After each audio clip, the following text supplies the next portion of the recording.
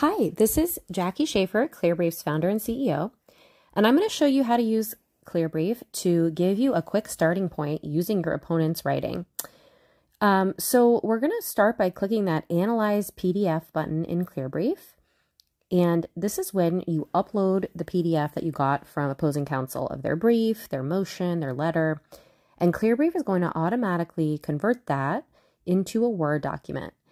And our AI will go through and find every reference to a law, a case, a statute, a reg, and um, automatically display that for you.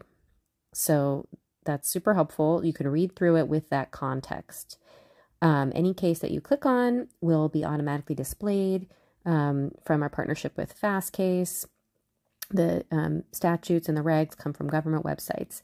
Now here, when we're looking at their citation to the facts, you can actually, Clearbrief is detecting that, and it will prompt you to upload the record or the discovery or that exhibit if you have it. And that can be a really fun way to actually fact check them with our AI. But I wanted to just show you that now you have this Word doc of the brief that they wrote. You can go through and actually just use the formatting as your outline.